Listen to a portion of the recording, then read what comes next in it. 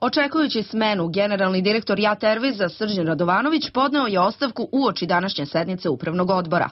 Da će glave morati da lete, bilo je jasno iz medijskih izveštaja o stanju JAT Airwaysa i javnog prepucavanja dvojice čelnih ljudi.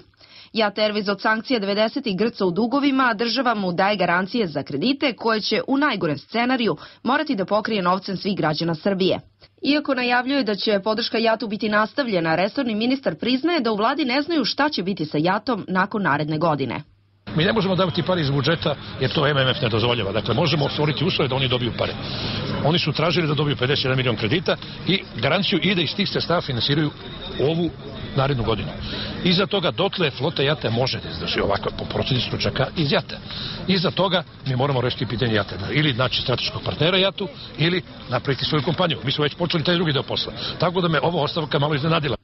Dosadašnji generalni direktor Srđan Radovanović je javno kritikovan zbog kontroverznih poslovnih odluka, poput popravke motora u Nemačkoj umesto u ja tehnici, ali i ogromnog trošenja na reklamiranje. Prebacivano mu je i da se ne razume u funkcionisanje avioindustrije, ali to je prema mišljenju stručnjaka greška onih koji su ga postavili.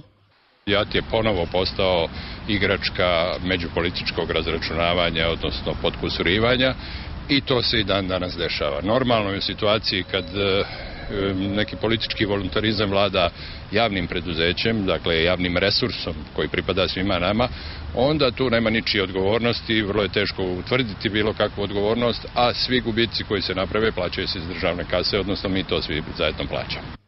Za razliku od svog prethodnika, novi generalni direktor JAT Airwayza je čovek iz struke.